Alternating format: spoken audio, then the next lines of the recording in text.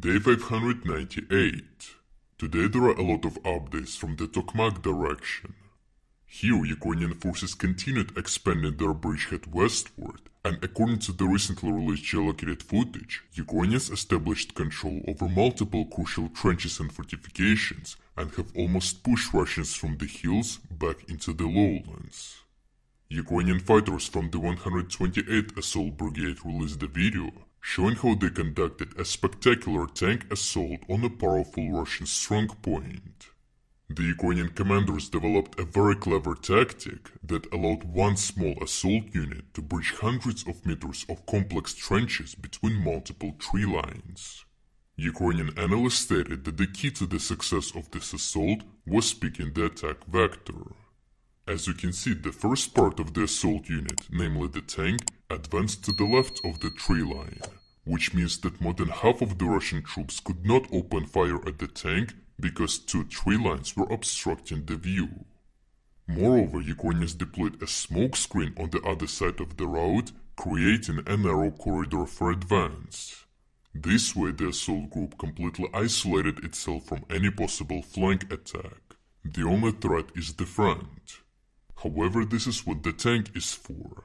The tank crew not only leveraged the front armor that shielded the assault unit behind, but also continuously fired at the Russians in the trenches, not allowing the enemy to even raise his head.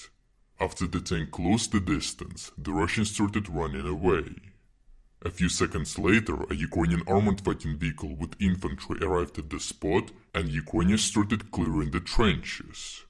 As the armor fighting vehicle opened supporting fire from a machine gun and the artillery started shelling the second part of the trench network, the Russians decided to run away altogether. A powerful strong point was cleared without losses in a matter of minutes. The Ukrainian General Staff and Tavria Group Commander Alexander Tarnavsky also reported that Ukrainian forces improved their tactical positions west of Robotyne. Here, the main focus of Ukrainian forces became the remnants of the first line of defense that stretched toward Kopany through the fields. Russian sources published videos of how they were striking Ukrainian soldiers inside the newly captured trenches with drones, indirectly confirming that Russians lost control over another trench network. Russian military analysts also vaguely confirmed that Ukrainian forces marginally advanced towards Kopany. Moreover, some Ukrainian analysts claim that Ukrainians pushed Russians from two big fields northeast of Kopany. So far I have not encountered visual evidence of the fighting taking place along these tree lines, however if this turns out to be true, then Russian forces virtually completely lost control over the hill between Robotyne and Kopany. If we look at the topographic map, we can see that this elevated platform gives a substantial tactical advantage. A consolidated control over this area will secure Ukrainian flanks in full.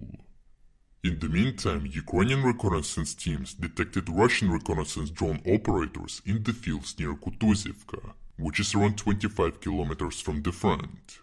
Interestingly, Ukrainian drones continued to supervise Russians and waited until they got back their drone.